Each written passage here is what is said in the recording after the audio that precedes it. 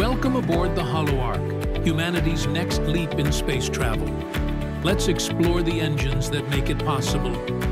First, the plasma engine turns water into superheated plasma, creating a powerful push that propels us forward.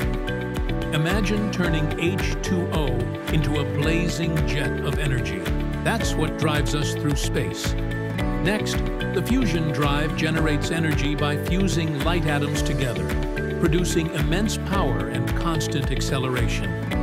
It's like having a miniature star on board, pushing us smoothly across the cosmos. The ion thrusters provide precise, efficient thrust for long journeys, using electric fields to accelerate ions without consuming traditional fuel. Then, the Solar Plus electric boosters convert sunlight into electricity, powering motors that give us an extra push while staying eco-friendly. Finally, the dark matter drive taps into the mysterious energy of the universe itself. It doesn't need fuel. It harnesses invisible dark matter to boost the ship, using advanced detectors and magnetic fields to stabilize this extraordinary energy. Together, these engines let the HoloArk glide through space faster and more efficiently than ever, ready to explore the cosmos like never before.